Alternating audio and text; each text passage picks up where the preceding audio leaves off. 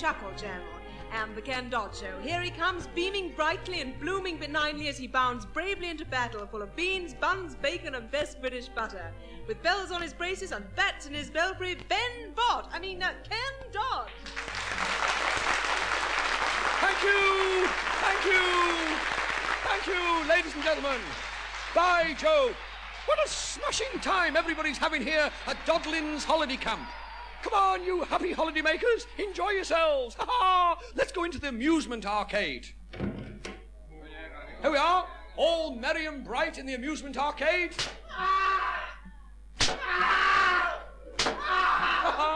Another lucky winner, folks. what a smashing holiday we're all having here, aren't we? Do you know, I've just realised that this is the Christmas edition of our show. And, it, and, it, and it's my birthday today. You, thank you. Right, right. Let's, let's have all those wonderful presents that I know you've all bought for me.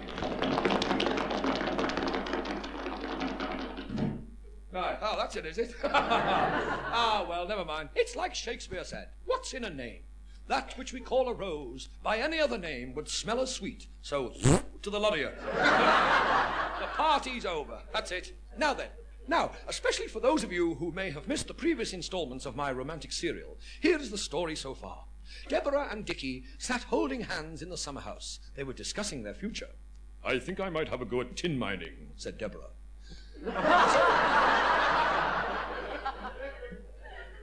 Basil Bustable, the tennis club cad, gripped Naomi by the umpire's chair. he realized that this was no ordinary affair. This one had a beard. I can't go on meeting you secretly like this, he said, trying to kiss her through the bunghole of a barrel.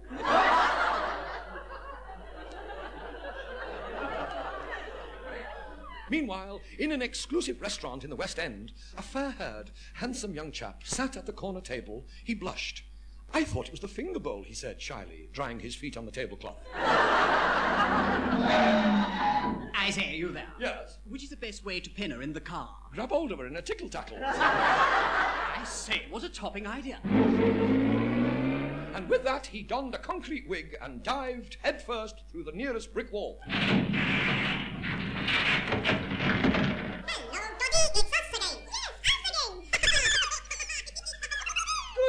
Gracious me, it's Mr. and Mrs. Smalley, the little Diddy people from Diddyland. Who's the nice little old lady you've brought with you? I'm the little Diddy Granny, Little Diddy Granny? and my feet are killing me. I'll have a sit down on this matchbox. Ha ha! What are you all doing here, anyway? We come to watch the parade. Yes, watch the parade. Oh, the parade. Oh, yes, of course. The march past by the 1st Battalion of the Knotty Ash Diddy Men.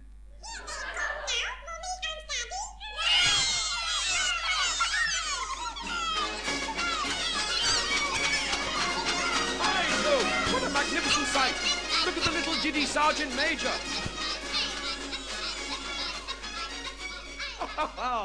Did you enjoy that little Diddy parade? And, and how about little Diddy Granny?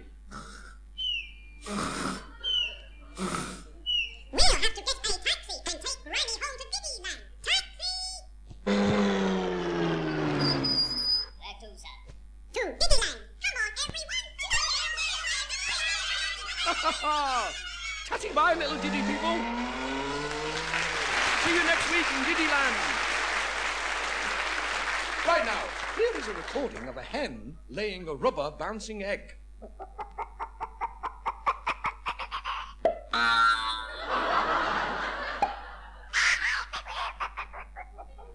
or how to get your own back.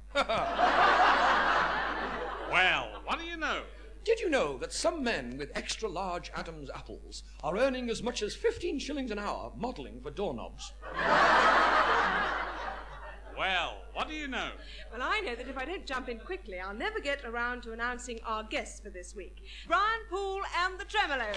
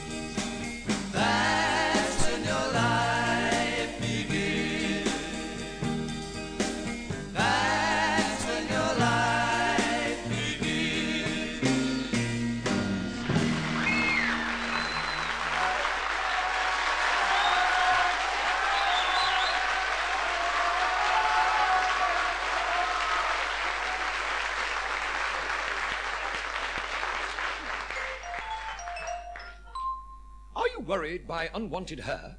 Do the unwanted hairs on your legs make people think that you are wearing fur jeans? Remove those unsightly hairs in just two seconds with a genuine Doddy blow lamp.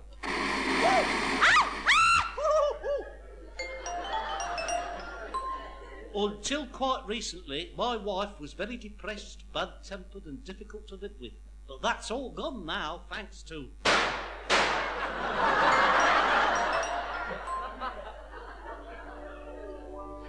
What is a pimple? A pimple is that loyal little chap who will stay very close to you for days, weeks, months. A pimple can be a real friend to you. If it's on the back of your neck, you can use it for a collar stud. Sweet things give some people pimples. They eat something sweet for supper, and that same night, while they're fast asleep,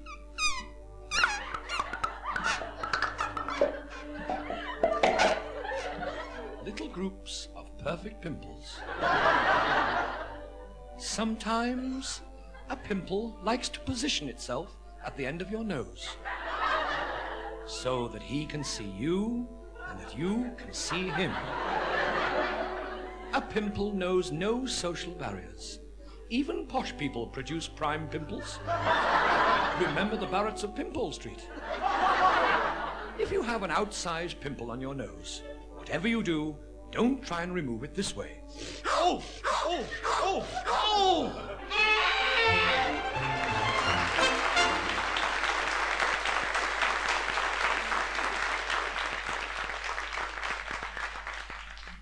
Hello, all you gardening maniacs. This is your own gardening chum, Ivor Lupin. I'll not keep you a minute, I'm just pulling me pansies up in the greenhouse. Now, if you're having trouble with your garden, do what I did. Turn it over to the wife. As a matter of fact, I've got quite a little surprise for my wife. I've just made her a fish pond. Oh, she will get a surprise as she walks past it, and the crocodile grabs hold of her. By Jove, we nearly had a very nasty accident in this garden last Saturday afternoon. You see, I lit a big bonfire to burn some rubbish, and I didn't notice the wife's mother asleep in the deck chair. The gentleman in the house opposite realized the danger and he leaped over the fence and dragged us to safety. I'll never speak to that man again as long as I. This week, I'm going to show you how to adjust the motor on an electric lawnmower. Now, this little job is very, very tricky. Oh, I say, oh, look, there's the lady from the house next door come out to do a bit of sunbathing in her garden, wearing one of them bikinis. yes. Now, now this lawnmower here is, is very tricky. I, oh, by Jove. yes. Now, this lawnmower. I'll show you how to climb on top of the shed and, and mend the roof. Just look at that. First, you need a step ladder and a pair of binoculars. Now, first, have a good deco, because when you leap onto the...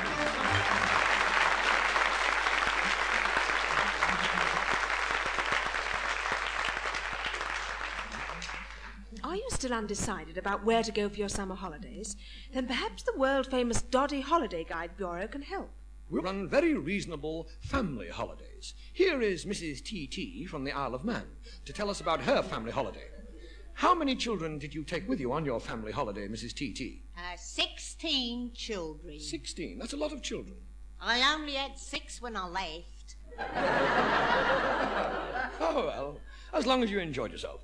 Um, and now, here is the old age pensioner who has won our exciting summer contest and a free, fabulous tour of the world. Congratulations, sir. And would you tell us your name? Oh, Ned, I'm a hundred and a hundred and two. Oh, Ned. Well, I'm delighted to be able to tell you, Pop, that you have won this fabulous holiday. Ah. Here's your first class ticket, which will take you all around the world. After 87 years, I'm going on a proper holiday. Thank, thank, thank you. Thank you. Uh, very. Ah.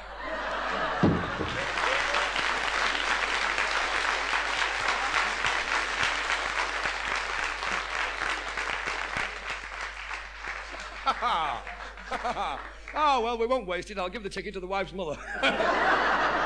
We've had quite a number of letters from listeners, all saying how much they enjoy the work of our old country friend, Percy Edwards. Some of you like him so much that you say in your letters, if he has pups, save us one.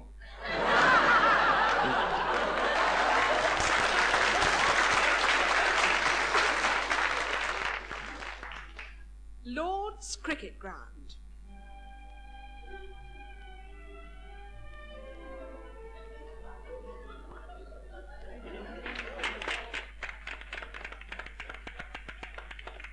He's a magnificent batsman. Brilliant. It's amazing when you realize he's totally colorblind in his left foot. I didn't know that. Oh, yes. He's got two little holes in his nose. Good gracious. He's a brick. He's bowling with two short legs. I thought he was running awkwardly. His father was in the field with Grace. Oh. Well, I'm all for brighter cricket. At Old Trafford, he got five for one, two ducks before lunch. Then his wife arrived and stopped him from bowling a maiden over. Well, I should think so. Any woman would have done the same. He was caught in front of the pavilion. Was he the swine? He's got to go into hospital with cartilage trouble. Oh, oh, I can't sit here and watch him after what you've just told me. I must leave. I'll come with you, Daphne.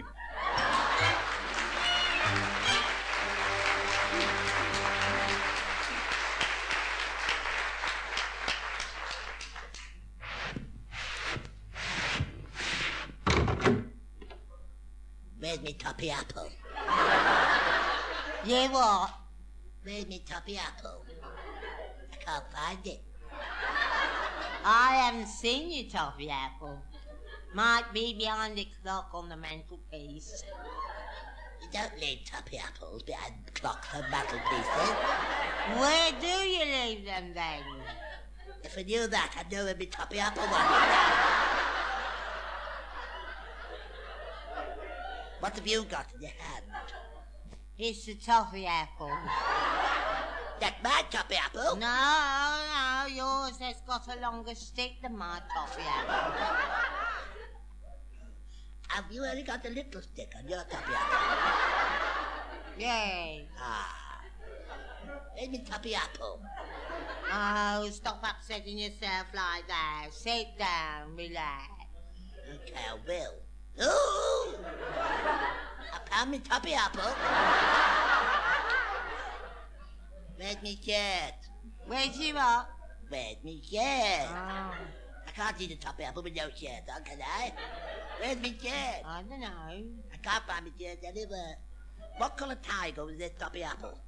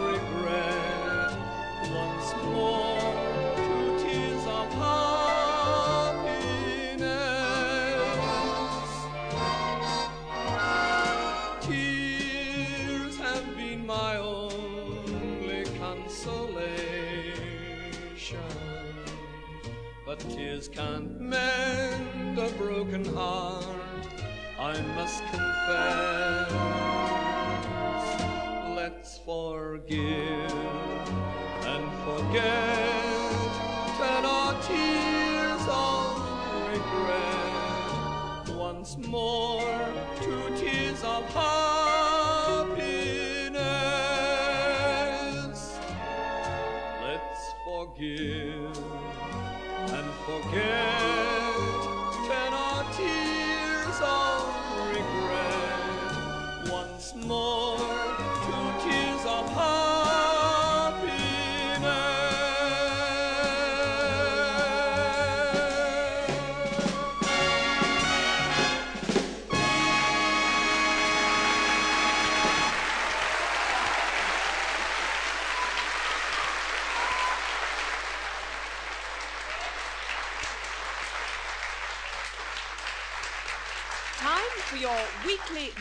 disaster, brought to you by that crazy bunch of mixed up muddlers who could never do a thing right. Men like Roddy McDoddy, the world's worst Scottish country dancer. Are you right, lads? Right then, away we go. In for a coffee leaky cha-cha. Now meet Billy Dodson, the worst ever husband. I haven't forgotten our anniversary, love, and I've brought you this musical locket. Oh, Billy, it's beautiful. Go on then, open it. Open the lid. Right, love.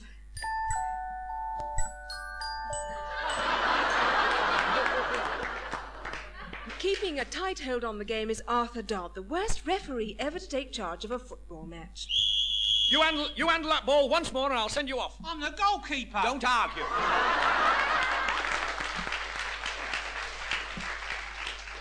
And nobody will ever take the title of world's worst poet away from Byron Dodd. My love is like an English rose. She's got golden hair and a big red setter that her owl made for her birthday. Oh, how I wish we two were wed, and every day we'd spend in happiness together. Just because. I'd worship you upon my knees. If you'll only get rid of that dog, it's full of. I don't know what they are, but I think it's flecky myself. I've seen little things that are all. Oh, honest.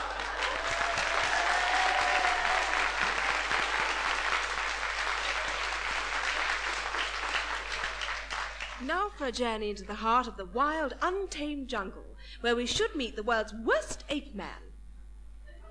I am the world's worst ape man. My name is Sammy Tarzan Jr. I live in a rude hut. The writing's on the wall.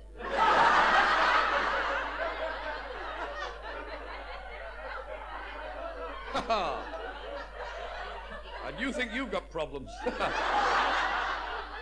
My story begins one night when I returned home to my little treetop house and my family of three Jane, Boy, and Cheetah, our pet monkey. I climbed the rope ladder and went in to find that Jane had retired. She's 65, so it's not before time. Tarzan, him come home. I wish you'd learn to talk properly, you know. Hello, lovey. Yes, Tarzan, him come home. I see you had your hair done. Jane look beautiful for Tarzan. Yes, looks very nice. Put it on. and how's my lad, hey? How's boy? He's a real jungle boy, he is. Tough, hard as nails, and frightened of nothing. Bless you, Tarzan. Bless you too, Jane. Jane knit Tarzan new loincloth. Oh, let's say, oh, yes, very nutty. I'll have to try it on now. there we are. Oh! Too tight? No, you've left the knitting needles in.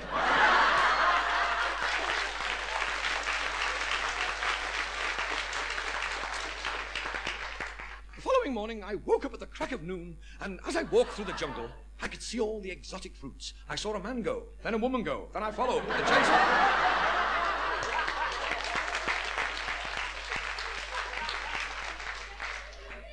Where are we up to? Oh, I. the jungle was very dense. I felt at home there. then I saw him staggering towards me. There's an old mill by the stream. It was Banana Bill. No one knew where he come from, but judging by the shape of his legs, it must have been Bo. In spite of everything, he was still the native's idea of what the typical Englishman is drunk, bone idle, and always on the tap. You gotta help me, Tarzan. You gotta help me. I gotta have a drink. I can't go on unless I have a drink. Oh, please, Tarzan, give me a drink. Please, please. Ah, bless him. Give him a drink, Tarzan. Oh, all right then. Here you are. Oh, Tar- Tarzan. To think that you were once a man of position, a leading socialite, captain of the Brixton Polo Club. You were never away from cows. Pardon? No. Yachting and that. And now you've sunk to this. Gad, I've oh, let the side down. I'll make it all up to you, Tarzan. The Jungle Telegraph. What's it saying? Listen. Have gone to me mother's. Have left a missionary on low light in the open. it's your firewater that's caused all this. We're surrounded. What are they gonna do with us? Oh, be careful with that blowpipe. One of us is going to be sacrificed. It's the work of the Green Goddess. The Green Goddess? The Queen of the Jungle. And no man has ever set eyes on her.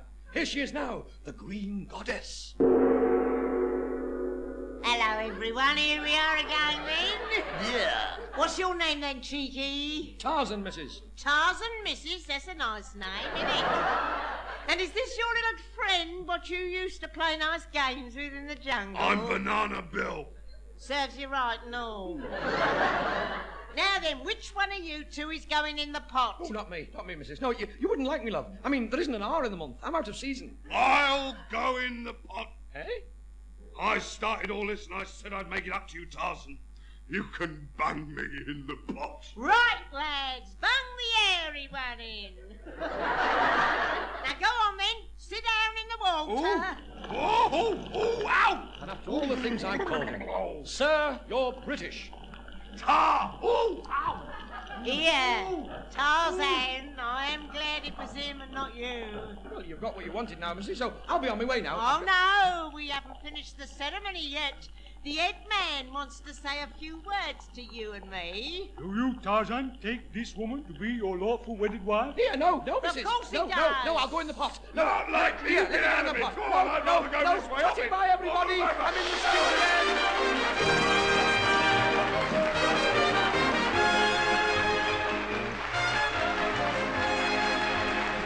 We'll leave Dolly to simmer in the hope that he'll come nicely to the boil in just seven days from now, along with John Slater, Percy Edwards, Peter Hudson, Patricia Hayes, Wallas Eaton, Brian Poole, and the Tremeloes, and Judith Chalmers. With the BBC Revue Orchestra, leader Julian Gaillard, conductor Malcolm Lockyer. The script was written by Eddie Braben and Ken Dodd, and the show, which was recorded, was produced by Bill Worsley.